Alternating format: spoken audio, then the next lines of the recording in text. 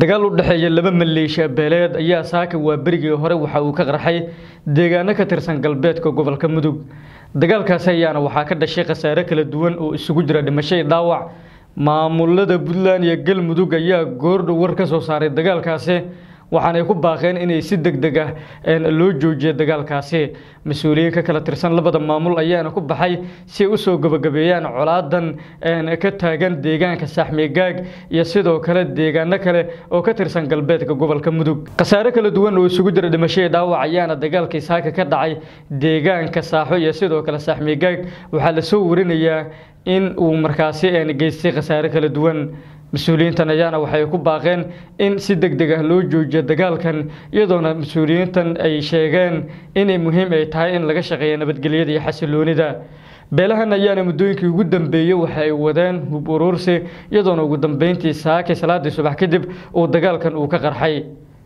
Ugu dhowr iyo toban qofood oo ka soo kala jeeda labada dhinac ayaa ku geeriyooday. Tire intaas ka badanna waa ay ku dhaawacmeen sida ilo kala duwan oo dadka deegaanka ay warbaahinta u xaqiijiyeen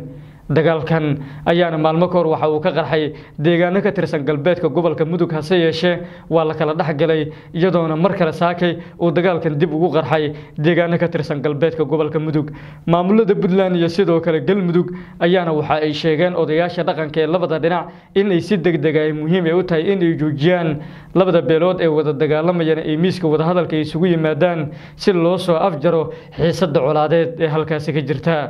waxyaabaha ka soo kordha dagaalka ka soconaya galbeedka gobolka mudug halkan ayaad kala socon doontaan.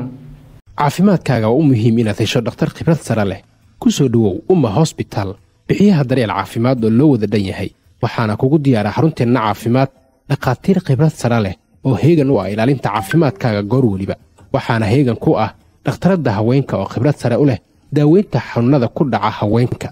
Dhakhtarka daaweynta iyo qalliimada lafaha oo horay u soo fuliyey kiisas badan oo guulaystay oo isugu jira qalliimo iyo daaweyn.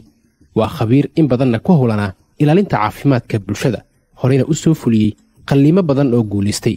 dhakhtarka qallimada guud iyo labriskoobiga dhakhtarka cudurrada guud oo kaa daweynayo dhammaan xanuunnada gudaha lehna khibrad aad u badan muddo badanna ku howlanaa badbaadinta bulshadiisa.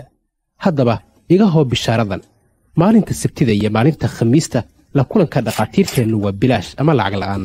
ka faa'iidayso fursaddan oo hadda soo booqo khubarradeenna si aad u hesho adeeg caafimaad oo ku raalligeliya naga soo wac cinwaannada shaashadda kaaga muuqda